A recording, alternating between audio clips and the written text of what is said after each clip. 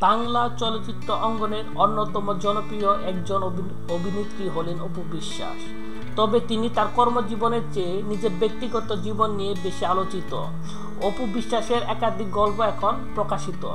সবাই তার ক্যারিয়ার নির্ভর।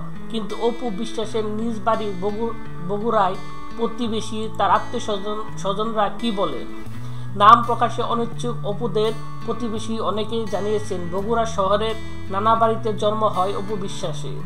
বাবা ভূপেন্দ্রনাথ বিশ্বাস ইহলোক ত্যাগ করেছেন।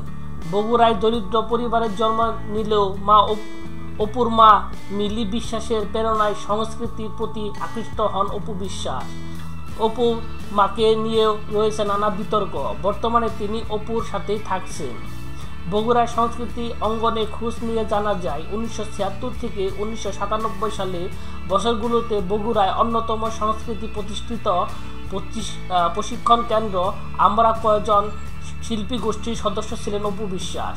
এর আগে একটি নাম না জানা অখ্যাত সংগঠনের হয়েও নাটক করেন তিনি।